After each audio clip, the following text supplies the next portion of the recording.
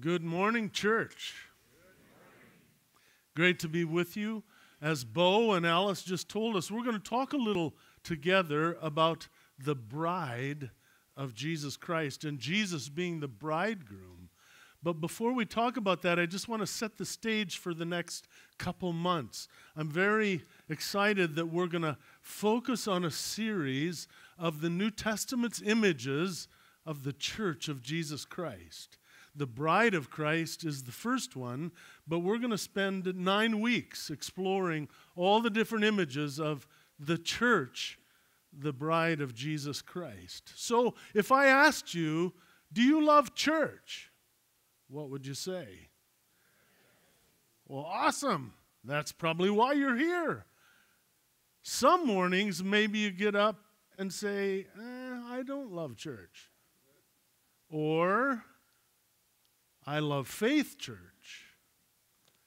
But the church is not a building, the church is the people. And Jesus Christ is crazy about the church, about you, the bride of Christ, as the church. In Forest City, Iowa, I remember officiating at a wedding where the groom did, as life work, quarterback clinics all over the nation. He would travel and teach young men how to be a better quarterback.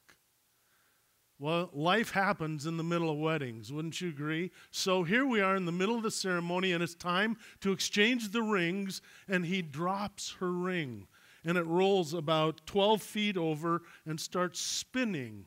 And one of his groomsmen yells, Fumble! and dives for the ring. You couldn't make that stuff up. For those of you who are married, do you remember your wedding day? If so, what do you remember? I remember being in this little room, the sacristy off the front of St. John's Lutheran in Depew, Iowa. And there is my father who's going to officiate, three brothers and one other friend who were groomsmen.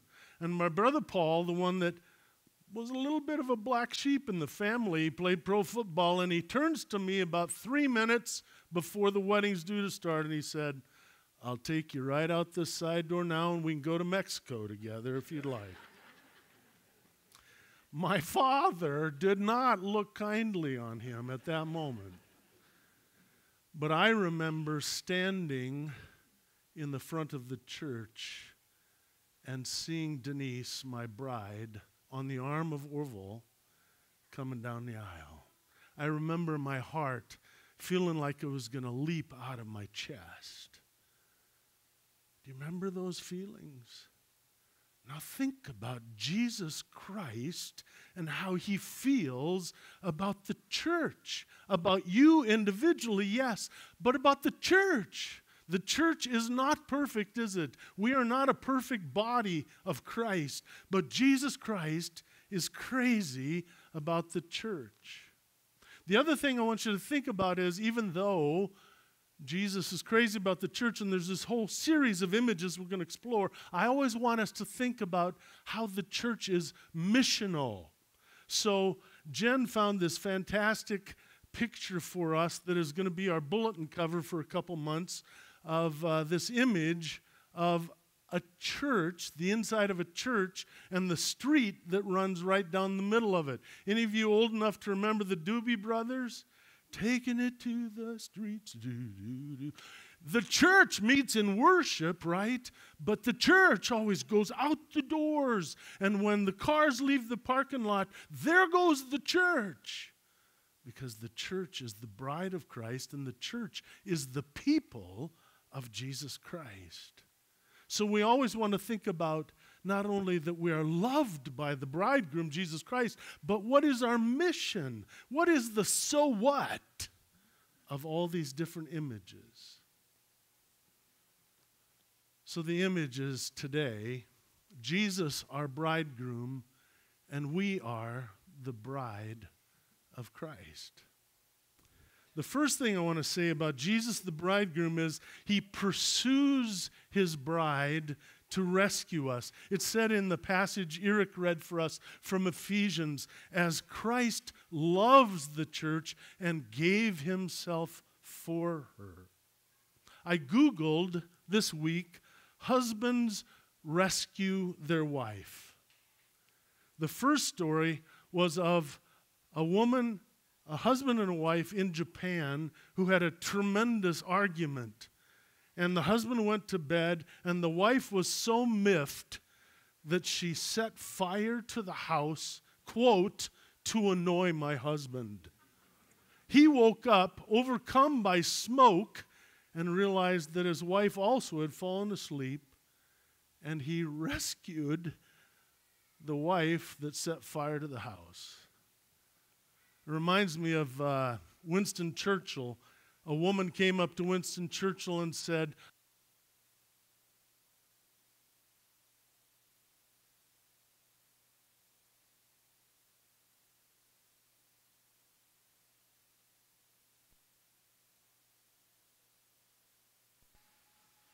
When she's coming up, I'm still going to tell the story. Is that workable, Lori? Or give me a handheld? As I was saying about Winston Churchill, I do remember what I was talking about. Winston Churchill was the ruler, prime minister of England. The woman was so ticked at Winston Churchill that she said, If you were my husband, I'd poison you. You know what Churchill said? If you were my wife, I'd drink it. Here's a series of uh, examples of the husband devoted to the wife so much that he rescued her.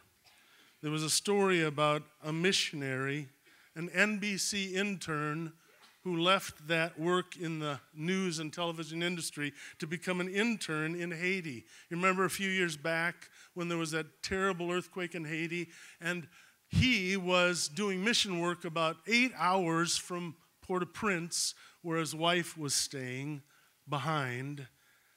And he drove the eight hours, and then he dug in the rubble for 10 hours straight to find and free his wife.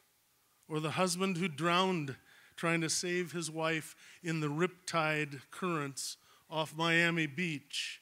Or in 2011, there was a man from Gwembe, Zambia, Africa, whose wife was attacked by a big crocodile. The crocodile is swimming with his wife into the deep water, and the man finds out that that happened and he dives into the croc infested waters, and he comes to that crocodile who's holding his wife by her thigh, grabs the crocodile around the belly, drags the crocodile to the shallows, puts his arm down in the mouth of the crocodile to try and pry his mouth open to get his wife out, then starts slugging the crocodile on top of the he- head, and finally the crocodile loosens its bite on his wife and goes after him misses him, and they're two people, both bloodied, but safe. I like those stories. I like reading Louis L'Amour novels and reading about how the hero cowboy gets the girl. Every Popeye has an Olive Oyl to rescue, right? Every Tarzan has a Jane to rescue the bridegroom, Jesus Christ, comes to love and rescue the bride. We are the bride of Christ. It's the whole plot line of this book that God, the bridegroom, loved the people of God so much that he came to rescue us, that we would live and revel in his love. But the bridegroom, Jesus, also comes for his bride to propose to us. For even though he rescues us, he invites us to respond to his love. And every proposal requires a response. And by the way, not to respond is to respond. So we got a little video that uh, illustrates the point. We'll take a look here. Love is more than passion. Love is also commitment. So you've probably seen that movie, Runaway Bride, and laughed at the humor of a woman unable to make the commitment. But we, the bride of Christ, are invited to respond to the proposal of the bridegroom. We say yes to God's yes, right? Can you say yes to God's yes? yes. I like it. Can you say it with enthusiasm? I like it. So we are committed to say yes as the bride to Jesus, the bridegroom. The third thing about Jesus as the bridegroom to the bride is he protects and guards his bride and keeps us safe. In Psalm 62, it says, Find rest, O my soul, in God alone. I remember a wedding I officiated at where the groom was so nervous, so anxious, so fidgety. It was a hot day and it was stuffy in the sanctuary, and the bride fainted, just down right in place. And the groom was so nervous, he just stood there and looked at her. He never moved. The best man stepped around him and helped her. Jesus is the bridegroom who embraces you in his arms to keep you safe. You can revel in the promise of his strength and comfort to never let go of you. He will protect you in his love. But when Jesus, the bridegroom, says that to us, it also means, as the scripture says, that he's jealous in his love. I, the Lord your God, am a jealous God, the scripture says. Now, the negative aspect to jealousy might be that we are insecure or afraid in the love, mistrustful to the point that we're always worried about the faithfulness of the one we love. But the positive element to jealousy, as the scriptures is dividing, is describing the heart of God, is that he is devoted exclusively to one. Therefore, he's jealous. The scripture even uses the image of the prophet Hosea called by God to commit himself in the covenant of marriage to a woman named Gomer, who was a lady of the evening, a woman of the street. He pays for her to be his wife, buys her. They share love, share life. She has two children, and then she goes back to her former life. Do you know what God says through Hosea? I betroth myself to you forever. So he tells Hosea as a physical manifestation of the truth of the love of God that he's supposed to go back and take Gomer into his house and love again. So Hosea goes and pays for Gomer to be his wife again. He fights for her and takes her into his house and loves her like she was never unfaithful. That's Jesus Christ to the bride of Christ, the church. He fights for us and He forgives all our stupid foolishness and our immorality and our unfaithfulness. He says, No, remember, you belong to me. Come, live in my love. The bridegroom, Jesus, protects his bride. Here's another truth the bridegroom prays for his bride. Jesus prays for the church. It says in Romans 8 that nothing will separate us from the love of God in Jesus Christ. But then it says, Jesus died and was raised. He's at the right hand of God, interceding for us. There's a story told And there was a movie made called Out of Africa. It's about a true story of a Danish noblewoman named Baroness Karen Blixen. She lived in Kenya. She was the owner of a large coffee plantation. And working for her were an African tribe known as the Kikuyu. And they lived right on her property. In the aftermath of World War II, there was some economic hardship, and uh, Karen von Blixen lost her coffee plantation. And when she lost it, this new owner cared not at all for the Kikuyu people. But Blixen couldn't forget those precious people to her heart. She begged the new owner to not displace them, kick them off the land. They, he wouldn't listen. So she appealed to the government authorities, but they also would do nothing to help the Kikuyu tribe. So there was this big banquet to honor the newly elected governor of that region of Africa.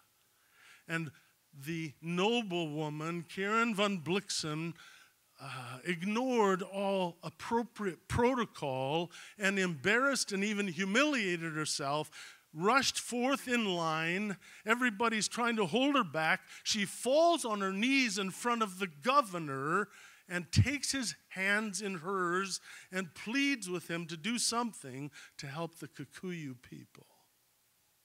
Everybody is like hanging their heads or looking the other way at this demonstration of her devotion and her ignorance of protocol.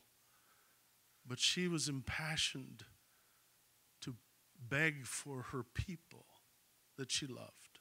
Finally, the wife of the governor rose and said, you have my word that the governor will protect the Kikuyu people. Now take that to Jesus Christ. He prays for his bride. He's the Lord of creation. He's the one who went to the cross for you and I and was raised from the dead. He's the Lord of eternity. He's the Lord of life. But now, even now this morning, Jesus is in the presence of the Father praying for the church, interceding for you by name. Isn't that beautiful? The next thing that the bridegroom does is he perfects his bride in the deep intimacy of his love. He protects and perf- excuse me, he perfects us.